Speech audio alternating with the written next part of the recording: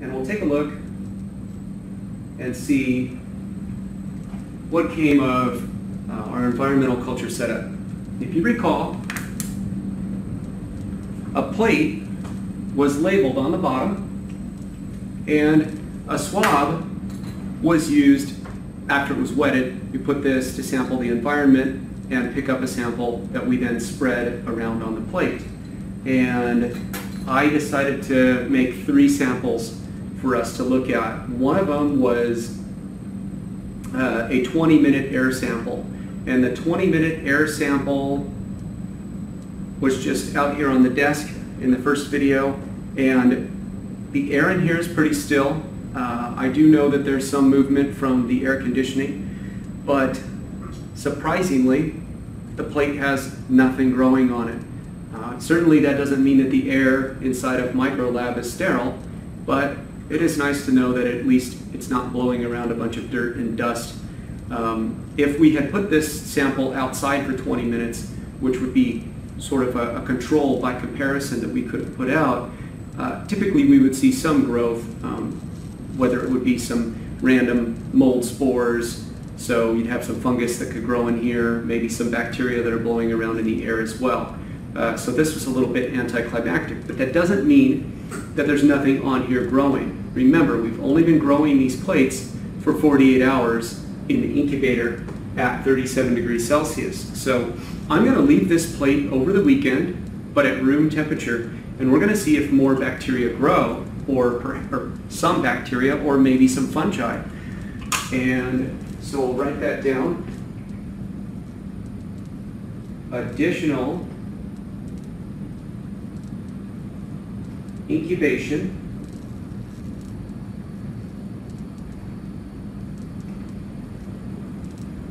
at room temperature.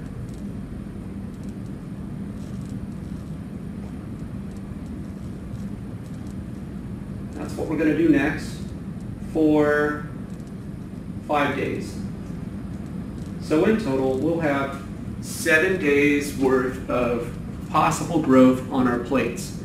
But before we incubate these all at room temperature, which may give mold a chance to grow uh, because they grow better at room temperature and they grow more slowly, uh, let's take a look back at my other samples. They're much more interesting than the empty plate that the room air produced. Um, here's a plate that's from my left shoe and it has a whole lot of growth here that we'll take a closer look at. And also the plate from my cell phone. Ew, it grew a lot as well. And so let's take a look at these uh, a little more close up. I'm to switch over to the document camera. And we'll zoom in on these. I'll place a black background on here with a dark background. Should provide a little bit more contrast. Wow. So no big surprise in one sense that the bottom of my shoe, which comes in, you know, undoubtedly comes into contact with a whole bunch of dirt and just whatever's around on the ground. Um, contamination generally is going to fall down due to gravity, and the bottom surfaces of just about anything uh, in, in an everyday environment is going to be very contaminated. And you can see the vast array of different microorganisms growing here. And, and now they're not so microscopic. They're actually, every one of these colonies, like this little yellow colony, that's, we would call that like a, small or maybe pinpoint type colony, that represents a million cells. That's impressive. One cell maybe was on there, an invisible single cell, which then grew into a million cells. And that visible colony right there, never mind these massive ones, just that little visible colony may have became visible as early as yesterday, um, over you know 24 hours or less. Uh, really what we need to do is think about what it means um, to make a colony. I'll come back to this because there's so many interesting things to look at. So let's look at bacterial growth for a moment and try to understand it a little bit better. Um, on this slide here, on the first day, I was explaining the term culture, and also I believe that we defined the term colony somewhere. Let's see if we can find that. I'm skipping around for a moment till we see uh, the word colony, right? A colony is a visible number of cells that amounts to the millions of cells. And so let's do a little math exercise, all right? If one bacterium takes 20 minutes to double, that's pretty average. So staph, like that little yellow colony, is probably a staph uh, skin type of bacterium um, or E. coli, ordinary gut bacteria, about once every 20 minutes under ideal conditions where they have plenty of food and space to grow and 37 degrees warmth where they can grow their fastest at human body temperature, um, then that means that they're going to be able to multiply three times an hour. So how many doublings would it take to go from one invisible cell all the way up to, let's say, a million. Okay? Now, think this exercise through in your head. Uh, I'm going to go ahead and establish, um, I'll just use this as a blank area for, uh, for this purpose. I don't have it pre-prepared, but it shouldn't be that difficult. We'll do it, well, perhaps, why don't we just do this in our heads? So how many would it take to go from one cell uh, how many? How long would it take to go from one cell to two cells? So that's 20 minutes, right? Okay. So then two cells double after another 20 minutes, and they become four cells. Okay. The way I want to count this out is let's do it by generations. All right. So one generation um, gives us one. Generation two gives us two. Um, for one generation, we go from one to two. Okay. Uh, next generation, you go from two to four. And then third generation, we go to eight, right? So three doublings. And then fourth generation, eight becomes 16. And then uh, fifth generation, we now have 32 bacteria. And then 32 doubles to 64 and then 64 doubles to 128, and then 128 doubles to 256, and, and then 256 doubles to 512. Maybe some of you are familiar with these if you think of exponents or like doubling. Uh, computer parts are sold this way, right? So 512, um, that's nine generations. And then double that and you have 1024. So just over a thousand bacteria after 10 generations. Um, 11th generation, that would be um, 2048. And then after that, you would have 4096. And then after that, you would have 8,000. Uh, oh my gosh, what would it be? 8,000. Can't remember the exact number, but let's not try to do all that math in our heads. Let's round it to 8,000. That'll be easy enough. And then we have 16,000. And after we, that was 8096. I remember it now. Then 16,000, um, we'll just round it. 32,000, 64,000, 128,000, 256,000, 512,000. Now we're at a half a million. And then one more doubling, that makes 20. We're over a million again. We're, we're, we're up to a million. Okay. So after 20 generations, um, you have a million bacteria. And that happens well within the first day. And so on our Zoom meeting, I'll go back and I'll try to remind you of this little part of my video and we'll, if, why don't you, I'll ask you guys a question, which is how long does it take to get 20 generations? How many hours is that? So think about that. Exponential growth will produce invisible bacteria into these unusual colonies or however they're shaped. And so I want to go back to that plate and analyze the colonies a little bit. So that's back on our document camera. We can see that um, all different shapes and sizes of colony growths occur. Some have color. Uh, there can be orange, there can be yellow, off-white. Um, you know, sometimes you'll even find red or uh, pink. And there are even purple bacteria, but they're just not that common. Now, most bacteria you can see are white. And uh, a lot of most bacteria are also opaque. They have a milky color to them, um, but occasionally you'll see bacteria that are uh, clear, um, you know, translucent.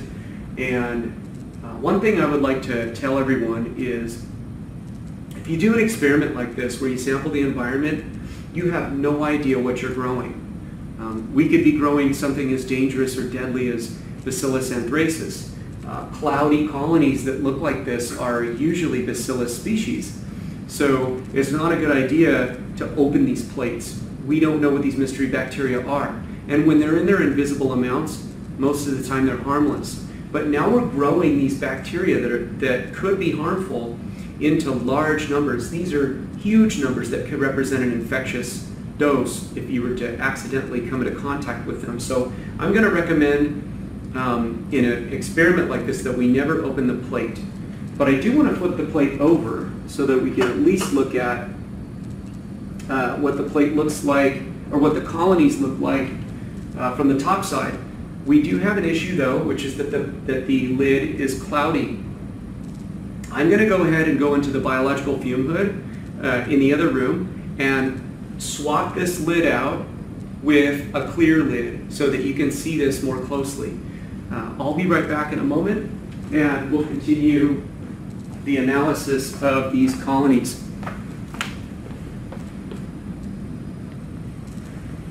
So here's the plate now with a clear lid so that we can see through it. And I can zoom in even further and I'll see if turning the light on helps. It does help a little bit.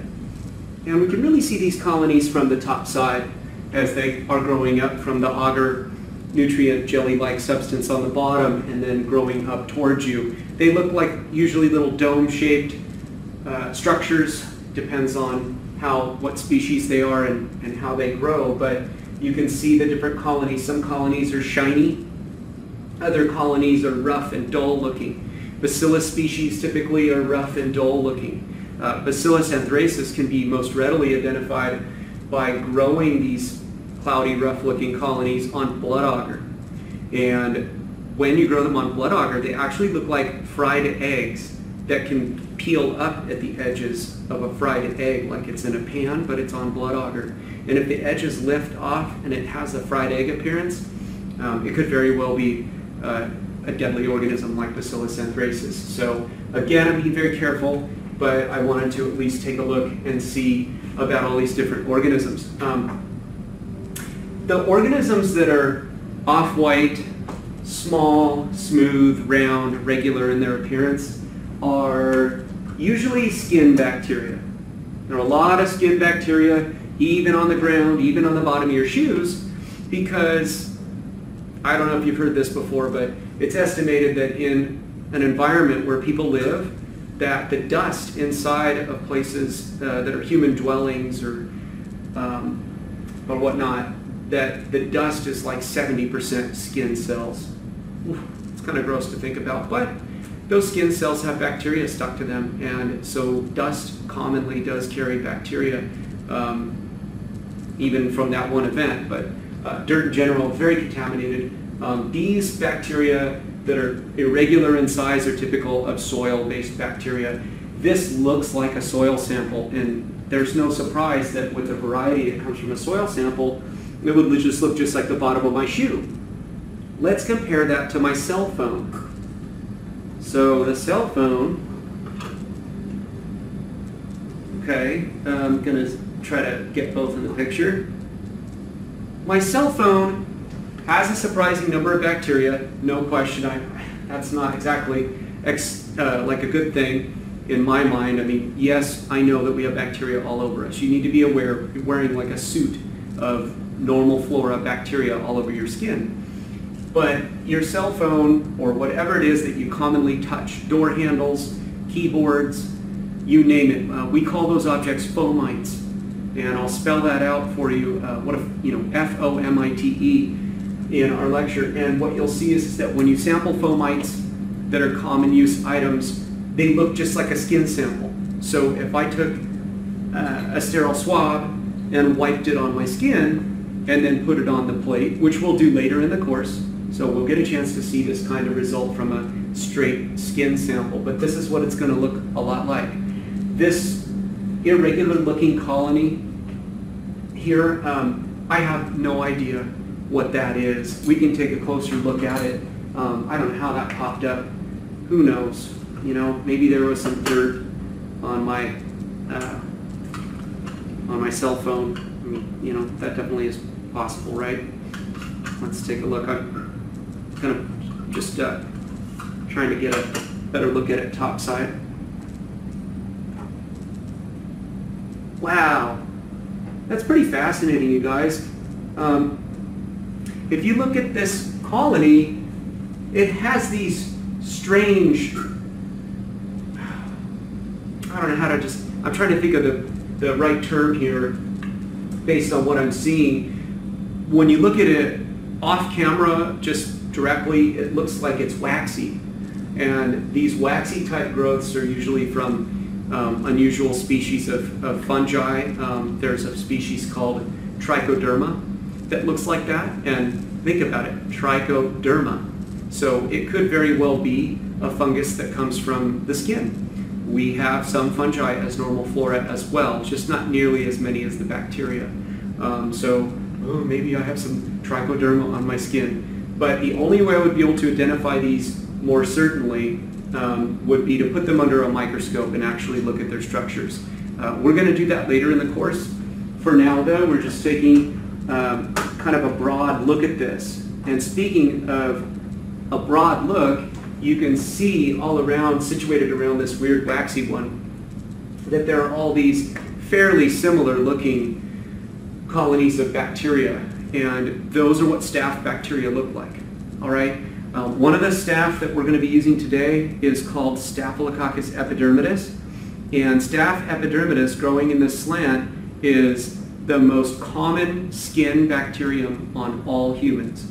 So every, it's what it is to be human. Just like we all have E. coli in our gut, we all have some staph epidermidis on our skin. Our book's author for our textbook, Tortora, says that as many as 90% of the bacteria that grow on your skin um, are just 90% staph epi. So that's a really important and beneficial bacterium uh, when it's on your skin as opposed to say Staph aureus, um, which can also be normal flora, but we don't like the Staph aureus because it makes, you know, it causes disease in many instances, whereas most of these are probably harmless bacteria um, that fall into the Staph epidermidis category. All right, that's enough about that. We're going to incubate all of these over the weekend, as I was mentioning, um, at room temperature, that uh, they're going to be incubated for longer. So I'm going to leave these out for room temperature incubation. We'll check back on them one more time um, during our next video. And let's move forward. There are many other things to do. Uh, as Just as a reminder, guys, um, you can look at the different um, vocabulary terms. I'm not asking you to memorize them, but even that, like for instance, that waxy one, it was definitely irregular in its colony shape, and I would say that it had a irregular to maybe perhaps filamentous kind of appearance, and also waxy, which isn't listed on here. Um, and so you can get these different uh, vocabulary terms. There's a good uh, reference for you guys. Uh, see, here's an example. Look at this. So here's a picture from your lab manual showing mixed soil sample growth, and it looks quite a bit like the bottom of my shoe as that sample was, or commonly students will swap the bottom of their handbag or their purse or something like that, backpack, and it'll look a lot like this. Um, here are the colonies of Bacillus anthracis. And they, it's a little hard to see on here, but these do have the so-called fried egg appearance um, because there's a central, like a center that looks like an egg yolk. And um, that raised area looks like that. As we see here, it has a really unusual term called umbonate. That's actually my favorite vocabulary term to describe all of these. It's just so unusual, umbonate. Um, but it, that's what Bacillus anthracis looks like. Um, and this is growing on blood agar. Here are some different varieties of pigments that bacteria can have. Um, or, you know, many different microorganisms can have these uh, unusual colors to them. So uh, there you have it. By the way, I mentioned Klebsiella pneumoniae in my in my uh, lecture uh, earlier, and you can see that Klebsiella pneumoniae, which is one of the causes of pneumonia, fluid buildup in the lungs, has a mucousy, sticky kind of um, called a mucoid surface, and that's because they stick really well to the lungs, and unfortunately, that makes them very difficult for um, our lungs to fight off. There's uh, your immune cells called alveolar macrophages, as we'll learn about phagocytes, as they're also called, will try to ingest and digest these bacteria, and they have a tough time with these sticky mucoid colonies when they're in the lungs.